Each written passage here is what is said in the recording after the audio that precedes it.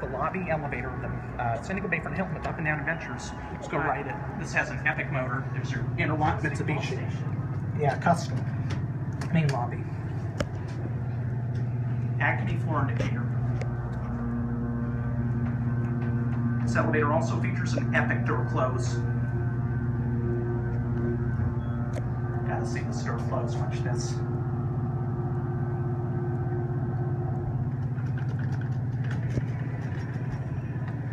Mini at door close. Yeah, actually, it was even faster last time.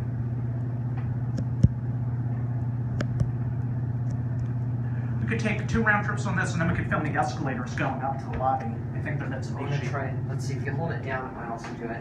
Maybe if you press door close, it might even close faster. It closed faster last time. And Uh, these are really nice The elevators. service cabinet's Really nice. Nice motor too. The cab. Do these have the same cab as the elevators? They do. Very The nice. cab me on these because they're probably less busy. Yeah, probably. Go down the promenade. Very beautiful cabs. Yes, very nice. The service cabinet isn't open. I checked. Okay.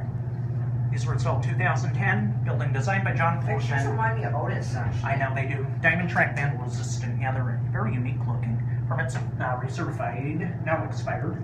Great, 2014. Sometimes this likes to be level a lot. No, we'll I park wish with the California door. didn't let the permits expire so much. Yeah, I don't know. Like that whole station. We're gonna have to send this up to close the door. Okay, send it up. There it There goes. goes. And And that's it. that's it.